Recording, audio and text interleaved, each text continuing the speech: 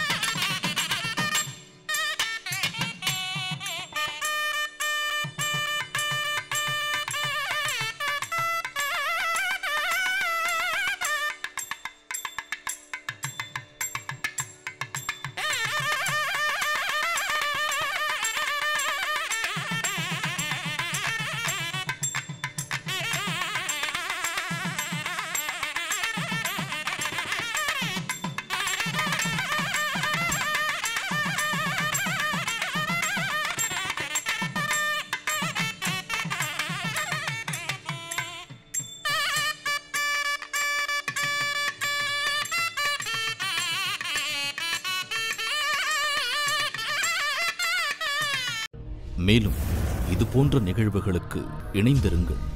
Britain Tamil பக்தி.